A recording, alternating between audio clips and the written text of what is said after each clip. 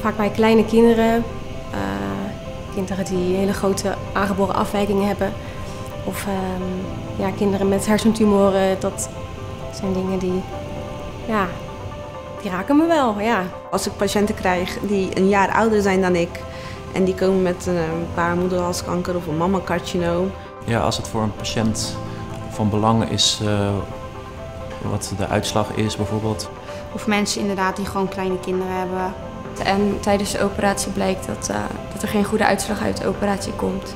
En de patiënt dus te horen gaat krijgen dat, uh, dat er slecht nieuws is als die wakker wordt. Ik heb zelf niet echt meegemaakt dat er een kindje overlijdt. Ik denk wel dat dat heel erg heftig zal zijn.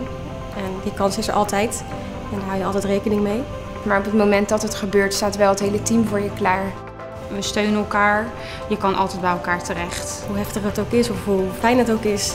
Ik ga echt met een positief gevoel naar huis als mensen je echt bedanken. Soms heb je wel eens dat een patiënt zo blij met jou is, omdat je toch op een heel spannend moment en soms ook heel belangrijk moment voor de patiënten bent. En als het dan uh, goed uitpakt en je kan iemand uh, na afloop uh, geruststellen. Als je dan een kans creëert, dat we toch mogelijkheid hebben tot een kwalitatief goede leven hierna, dan, dan is dat wel, dat is wel een kick, ja.